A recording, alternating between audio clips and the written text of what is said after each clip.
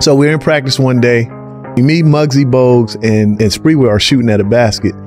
PJ comes in and he's and he just comes down and he's like, You gotta give me more than that to Spree. Mhm. And Spree- And Spree was a worker. Mhm. If that's all you gonna give me, get the fuck out of my gym. So Spree said, he said, Look, man, you say one more thing to me, I'm gonna fuck you up. So he came back and said something again. And that time when he came back, Spree just took the ball, he just dropped it, he just walked over to, to PJ, grabbed him around the neck, and he was like a crazed animal at that time. So he never let go of PJ's neck. To be honest, the other players, because of how PJ used to talk to him, was like, fuck it, go ahead, choke the shit out of his ass, right?